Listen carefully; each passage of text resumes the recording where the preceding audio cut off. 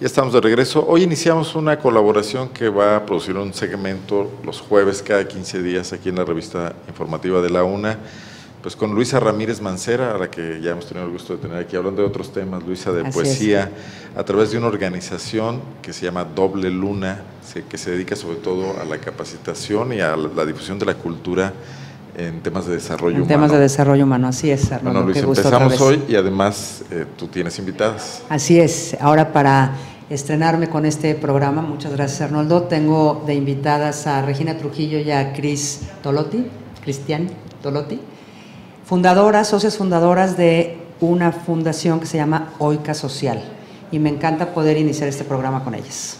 Bueno, a ver, vamos a un poquito primero a introducir brevemente ¿Cómo podrías definir el tema del desarrollo humano? Algo que parece tan básico, pero que hay que traer las palabras a la vida otra vez, ¿no? Como diría Demetrio Vázquez.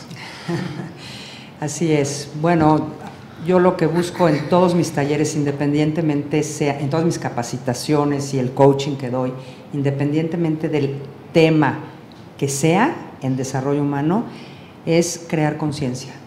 Crear una conciencia eh, expandir nuestra conciencia, ¿no? Porque a final de cuentas lo que me parece que nos falta a todos es eso y por lo tanto pues caemos en todo el caos de vida en el que y vivimos. Y la conciencia es todo, es vernos hacia el interior y ver el mundo. Hacia afuera, es como yo creo conciencia y entonces estoy como en, dominio o en, en empoderamiento de mi mundo interior y de mi mundo exterior. Bueno, ahora si quieres, sí, tú conduces un poco la, charla con tus invitadas de Oica Social. Sí, bueno, eh, ahora el programa es con ellas porque eh, acabamos de realizar una maravillosa alianza, Doble Luna con Oica Social. Eh, yo conocí a Regina justamente en mis talleres, ¿no? Regis ha sido medio seguidora de Doble Luna, lo cual me encanta. Y ah, hubo una linda coincidencia en los últimos momentos. Ella ahora acaba de fundar con Cris esta, esta organización de Oica Social. Se están estrenando. Sí. Estamos estrenando, sí.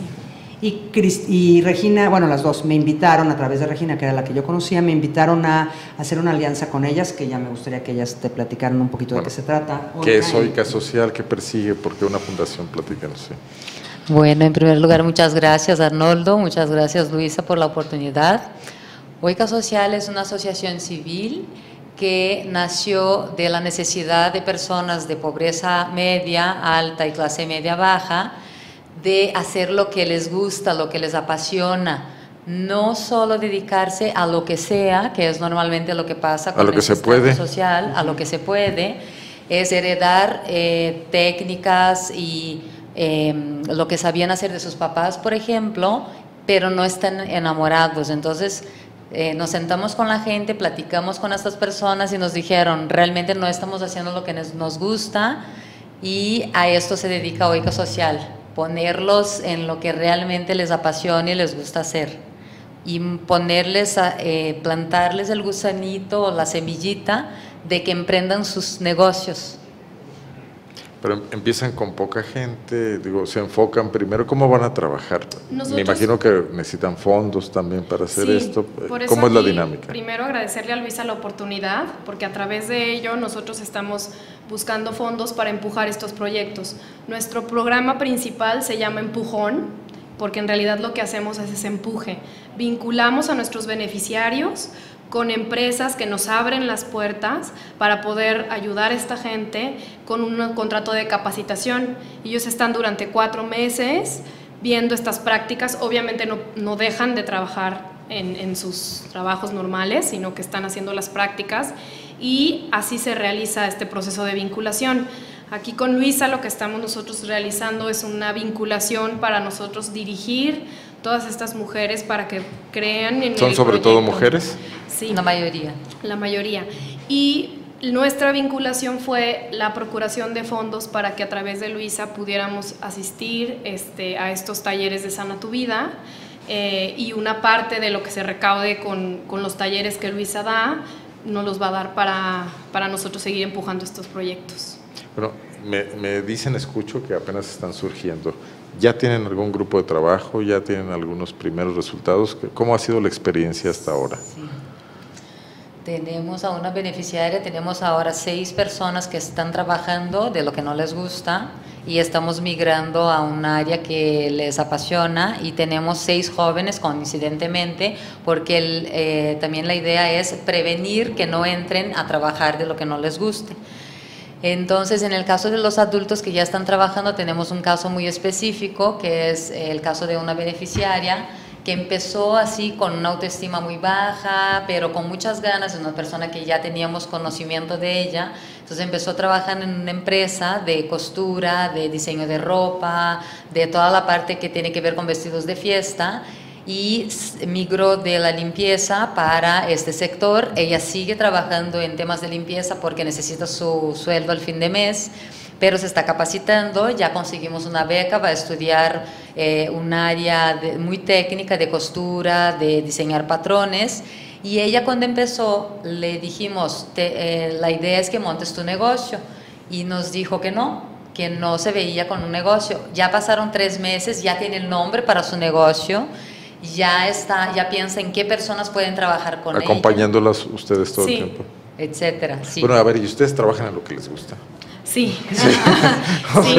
Esa es la pregunta. Claro, sí, sí, ¿Que ¿Se dedican a esto de tiempo completo, a lo de Oica Social? tiempo completo, como Oica Social. Son mamás jóvenes, entonces eh, se dedican a esto cuando no son mamás, ¿no? Porque son mamás de niños chiquitos, que eso roba mucho tiempo, pero yo las veo de veras súper comprometidas me encantan, movidísimas, y entonces aquí un poco la, vinculación o la alianza conmigo es, promovemos mis talleres, no nada más el de Sana Tu Vida, sino todos los talleres que doy, lo promovemos, ellas me ayudan ¿no? a, a, convocar a todo esto, y yo les paso un porcentaje, que es como el recurso que ellas, un porcentaje de los talleres, y es el recurso que ellas. Y por otro lado, como yo trabajo mucho para la Fundación Pro Empleo, también ahí se vincula el tema con estas personas cuando ya están listas para poner su negocio, pasan a la Fundación Proempleo para que tengan toda la capacitación necesaria para este, pues, iniciar su, hacer su plan de negocios, iniciar un proyecto en forma, ¿no? Y verdaderamente que pueda ser algo que, que sea real y con, con, con, muchísimas más probabilidades de éxito que si van y lo hacen solas. Bueno, yo lo que veo también es que este tipo de iniciativas son muy necesarias desde la sociedad civil. El gobierno mismo está preocupado por invertir recursos. Ahora, ahora nos enteramos de que el gobierno del Estado va a solicitar un crédito de dineral, 4.200 millones de pesos, y la mitad de ese dinero es para regenerar el tejido social, un concepto así muy amplio, que son este tipo de acciones. ¿no? ¿Se han acercado al gobierno? ¿Han tenido algún tipo de, de interlocución?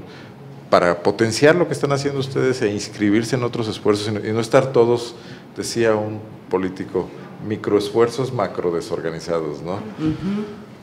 Sino ir en la misma dirección que otras instituciones. Sí. ¿No lo están pensando? Eh, nosotras hay dos puntos aquí, Arnoldo. Es muy interesante el tema que tocas porque a la mayoría de las fundaciones en México se dedican a la pobreza extrema. Nosotros nos dedicamos a otra franja de pobreza, que es una pobreza que muchas veces podría, se podría pensar, son personas que ya tienen las necesidades básicas cumplidas, ¿no? Pero es gente que sí quiere crecer y puede jalar a esta base de la pirámide a través, por ejemplo, la beneficiaria que contrata a gente para trabajar con ella, ¿no? Entonces, eh, enseñar a estas personas que sí tienen capacidades, que pueden más y que no hay límites. Los límites que exponen son ellos en su cabeza porque no hay límites de verdad y pueden jalar esta base de la pirámide, ¿no? Entonces, un punto es este, que hay mucho apoyo eh, de forma un poco asistencialista para la pobreza extrema, que es importante, pero también en algún momento es importante soltar, ¿no? Y otro punto. Enseñar a, hacer las propias cosas y no nada más a recibir. un poco es lo que tú dices. o el viejo asunto de enseñar a pescar. Y por otro lado, eh, sí tenemos interés en bajar fondos del gobierno, en pedir ayudas al gobierno, pero sobre todo diversificar la manera de recaudar fondos, como es el caso de la Alianza con Doble Luna, ¿no? de ver, reconocer a empresas, a organizaciones de la sociedad civil o de gobierno, privadas, públicas, que tengan la misma intención de nosotros, ¿no? Como dijo Luis al principio, que lo importante aquí es que la gente sea cada vez más consciente, que se amplíen las conciencias, ¿no? Y entonces eh, que sean conscientes de que sí son capaces y que estas alianzas sean con empresas, organizaciones que piensen o que tengan la misma idea que nosotros como ICA Social y que quieran de verdad empoderar a las personas, no importando la clase social, ¿no? sino que empoderarte a ti mismo, ampliar tu conciencia, que seas una persona más consciente de ti, de tu entorno, del mundo, etc. En tu experiencia, Luisa, ¿cómo ves? ¿Qué perspectivas le ves a esto? ¿Cómo hacer para que eso se mantenga? Digo, eh, yo veo un gran entusiasmo, pero luego el entusiasmo se acaba porque vienen las, las necesidades de todos los días. Ustedes mismas necesitan también dedicarse a otras cosas, la propia gente a la que están impulsando eh, necesita ver resultados, porque qué tal que pasa que lo que sí me gusta hacer no me deja como lo que no me gustaba y tengo que regresar con una frustración además. O sea, ¿cómo retroalimentar sí, esta claro. dinámica? Es, a final de cuentas yo creo que es todo un reto, ¿no? Lo que ellas Qué bueno que haciendo. se inicie, ¿no? Pero están iniciando. Eh, lo que yo he visto hasta este momento, a, a Cris la acabo de conocer, a Regina tengo más tiempo de conocerla, y lo que yo he visto en este momento, en estos dos meses, tres meses que, que, que hemos estado haciendo, platicando y moviéndonos, las veo muy, muy comprometidas. Esto ciertamente quizá no es suficiente y quizá no garantiza, pero es un paso importantísimo, ¿no? Si no hay eso, no hay nada. Otra cosa que veo es que les fascina lo que hacen, lo cual también garantiza mucho más que otras cosas, ¿no? Su compromiso, sus ganas de contribuir y que les gusta mucho lo que están haciendo, que es un poco el mismo caso de lo que yo hago en, en, en mi plano, ¿no? Eh, obviamente no soy yo su, su, a nivel organización, sí habla Cris de gente que tenga como esta misma filosofía, en donde nos hemos entendido muy bien y está muy padre, pero hay muchas, muchas más opciones que seguramente se irán encontrando en el camino, que irán buscando, que irán apareciendo y que estoy segura que ellas van a, a saberlas aprovechar todas, ¿no?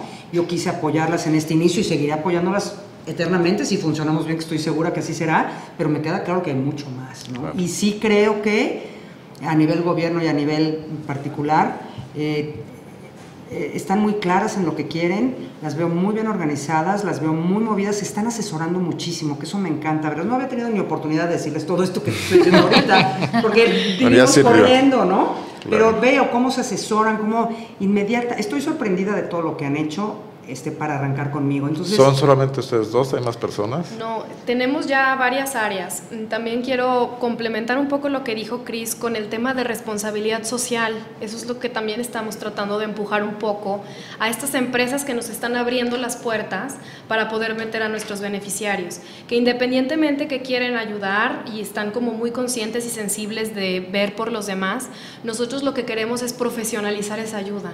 Eh, tanto los estudios que, que tiene Cris como yo, nos está permitiendo realizar con OICA Social esa profesionalización. Es decir, tener todo muy bien estructurado, muy bien estudiado.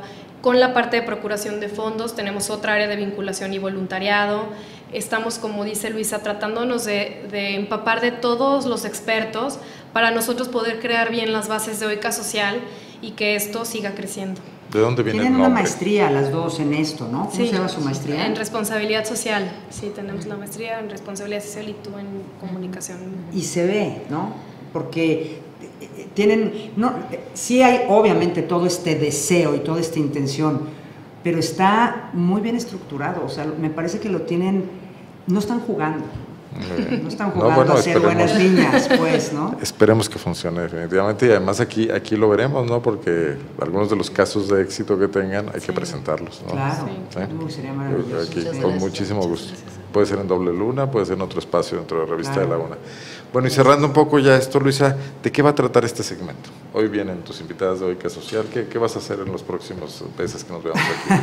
¿Ya lo pensaste? Todavía no. Este, pues estoy como un poco escuchándote a ti, ahora que hemos estado platicando mucho de esto, eh, como que quisiera que, que tuviera que ver con, como que cabe todo, habíamos un poco comentado el tema, ¿no? Entonces, con cuestiones que tengan que, que tengan que ver Para con que el sepa, desarrollo, ¿no? Sí, el- con, que, tengan que ver con el desarrollo humano, cualquier cosa que, que lo promueva, que lo aliente, que, que nos, que nos haga eco, que nos resuene. Entonces yo puedo hablar desde temas específicos, me gustaría poder hablar desde temas específicos de desarrollo humano hasta te- este tipo de cosas, ¿no? Como tener invitados, ser como muy inclusiva en toda esta parte, con gente en donde estemos un poco pues buscando a final de cuentas lo mismo. ¿no? ¿Querían hablar un poco de un evento Sí, próximo? Arrancamos con este taller que va a ser el primero de muchísimos con los que vamos a, a trabajar hoy Cae Doble Luna. Este taller es un taller de, se llama Sana tu Vida, que es un taller que es eh, de, cuya autora, digamos, es mi tocaya Luisa L. Hay, que es una señora norteamericana de mayor que tiene toda una organización de desarrollo humano a nivel mundial. Su organización se llama Heal Your Life. Sana tu vida, que tiene ya este, una importante representación en México, en, de hecho la cabeza en México está en Querétaro, que es Laura Niño. Entonces vamos a arrancar con este, con este taller de ella, que es un taller de 10 sesiones. Poco para que no brille, lo podemos... ¿Bajar? No. Sí. Velo. A ver, me ayudan. Luisa Hay tiene eh, muchos libros escritos, pero sus libros más conocidos son uno que se llama Tú puedes sanar tu vida y tú puedes sanar tu cuerpo. Y ella habla en estos libros y en toda su filosofía de cómo nuestros procesos y nuestros patrones mentales y emocionales tienen un impacto de- directo en nuestra salud física y obviamente en la, en la realidad que estamos Diez creando, ¿no? sesiones, estoy Son 10 viendo. sesiones de 3 horas Hay cada vez. Es un taller de 30 horas. Es un taller de 30 horas porque además cada sesión es de 3 horas. Junto con Oica Social va a ser. Ellas están de hecho convocando, ¿no? ¿Y dónde se lleva a cabo? ¿Dónde se Va a haber dos grupos, porque además son bárbaras. Quisieron abrir con dos grupos y no con uno. Entonces van a ser dos grupos. Inicia uno el, martes 22 y otro el miércoles 23 de septiembre. A partir de ahí 10 semanas, el grupo de los martes y el grupo de los miércoles. El de los martes es en el refugio, en la Casa Club del Refugio, del fraccionamiento del refugio. Y el de los miércoles es en Jardín Escada, que también es una gente que está apoyando y prestando lugar. También la persona del refugio, ¿no? A final de cuentas, es pura gente que ha querido apoyar y donar lo que tienen, ¿no? ¿De cuánto cupo? casos. Eh, de 20, entre 20 y 25 personas por grupo. Eh, a Quien se interese, pues que se apure. ¿Costos? Así es. Eh, híjole, ¿me, me recuerdan? 2.800 Por las 30 sesiones. antes del 22 Por las de 30 horas. septiembre. Por las Ujú, 30 por horas. las 30 ah, horas. tenemos una fecha. 2.800 Ese es un, peso de, un precio de descuento. factura ustedes y todo, Si puede ser. quieren, so- podemos dar factura. Y de ahí una parte va al, a porcentaje Oica va Social. para Oica. Así es. Bueno, muy bien. ¿Dónde puede obtenerse más informes o En la página de? Facebook de Doble Luna o de Oica Social o con Mariela Padilla. Este, ahí aparecen los teléfonos y los datos. No traigo mis lentes. En- en no Facebook, decir. ¿no? Sí, en En Facebook. Pero en Facebook, Doble Luna, Doble Luna y en Facebook Oica Social. Oica Social. Bueno, muy bien. Pues muchas gracias, Luisa. Aquí nos veremos en 15 días Sí, y ustedes este, pues nos veremos pronto también. Sí, ¿no? muchísimas gracias por el y espacio. Y éxito en ese, en ese esfuerzo y en esa iniciativa. Que fructifique muy padre y que crezca. Muchas gracias. Gracias a ti. Muchísimas gracias. Gracias, Vamos a continuar la revista de la UNA ya con temas informativos después de la pausa.